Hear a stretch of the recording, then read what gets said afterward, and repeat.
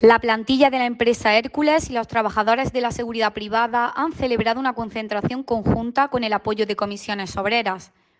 Los y las trabajadoras de la mercantil continúan denunciando impagos y retrasos en el pago de las nóminas. En el caso de los vigilantes de la seguridad privada, reclaman una mayor dotación de personal en la frontera, que cuenta con 26 efectivos frente a los 31 despidos acumulados. La secretaria de Acción Sindical de Comisiones Obreras, Claudia González, ha vuelto a denunciar la situación en la que se encuentran los y las trabajadoras del servicio de limpieza.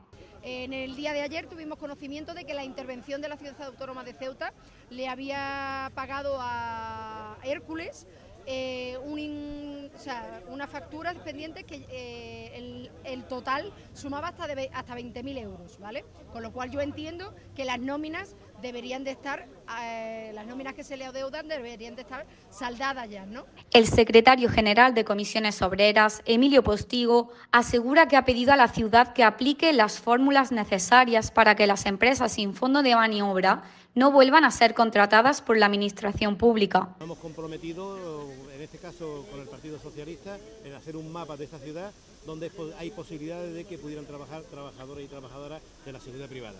El responsable de acción sindical de comisiones obreras, Ángel Lara, por su parte, no entiende que la reapertura de la frontera no suponga la reposición de trabajadores de la seguridad privada. ¿Qué va a hacer con estos 30 trabajadores?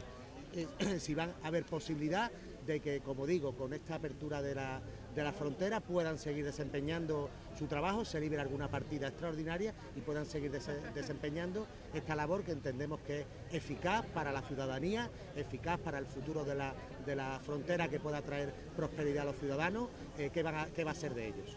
El enlace sindical de comisiones obreras con la empresa Eulen, Javier Ríos, ha recordado la situación en la que se encuentran los trabajadores de la seguridad privada y reivindica una reunión urgente con delegación del Gobierno. Ceuta necesita una frontera fluida como ha tenido en la anterioridad, con los efectivos suficientes para que funcione correctamente.